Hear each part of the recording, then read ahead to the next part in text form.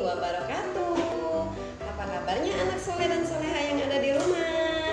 Alhamdulillah sehat luar biasa Oke anak-anak semua Hari ini materi kita masih dalam tema kebutuhanku dengan subtema makanan dan minuman Oke anak-anak, hari ini Bu Dewi akan mengajak anak-anak semua untuk melipat bentuk es krim dari kertas origami. Nanti anak-anak praktekkan di rumah ya, boleh dibantu orang tua. Oke, sekarang simak videonya ya.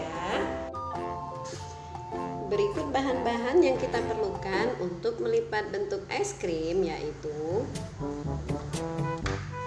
buku gambar, kertas origami, lem stick, dan spidol.